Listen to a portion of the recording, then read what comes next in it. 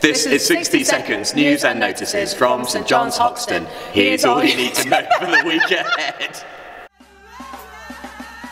Throughout February, we are conducting our annual congregation audit, finding out a little bit about you, finding out how we could serve you better as a church. And it would be really helpful if you could get online and fill out a survey form.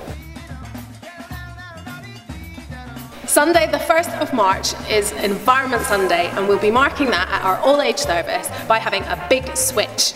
And we're really excited that we will be joined by the Mayor of Hackney, Phil Glanville, and Bishop Joanne, the Bishop of Stepney. On Tuesday the 25th of February we are holding our annual pancake party from 6 till 9.30pm. Uh, we'll have savoury toppings and sweet toppings and we're going to have a DJ and Taskmaster games. It's going to be a lot of fun. So do come along and invite a friend or neighbour.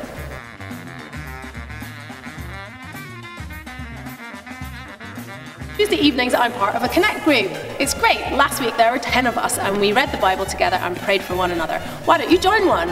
If you're interested, speak to Caroline or one of the team.